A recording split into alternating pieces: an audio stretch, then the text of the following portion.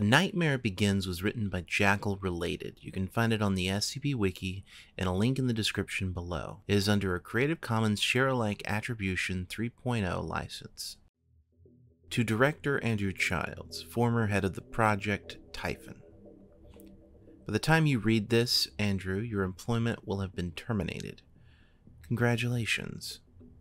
I briefly considered handwriting you this letter myself for old time's sakes, but I figured you wouldn't be worth the effort in the end.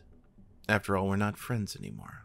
This is strictly a professional outfit now, and before you ask, no, I didn't do anything out of my way to end your job early.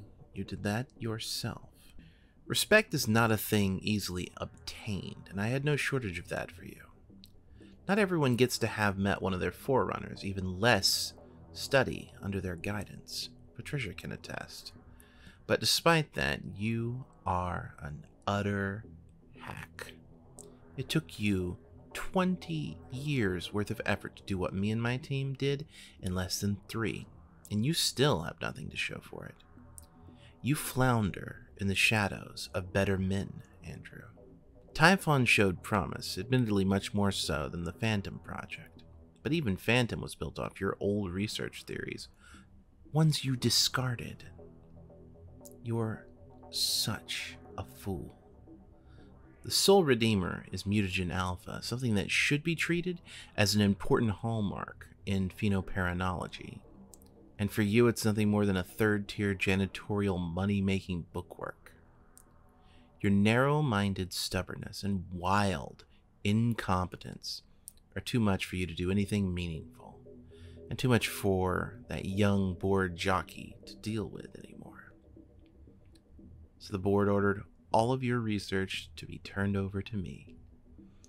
Now, knowing you, you're going to fight this, so don't waste your time. They're behind me 100% on this. And just think making her mad isn't going to be in your best interests. I've already got Mutagen Alpha on hand here at Edmonton. I'm sure they forgot to notify you of that years ago.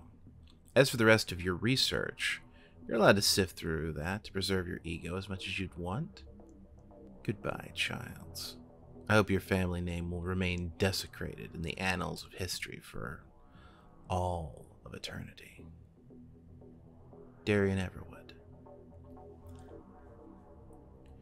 Physical evidence found in the Herzenhaus incident, pinned by a knife to the wall in an office surmised to be Dr. Andrew Childs.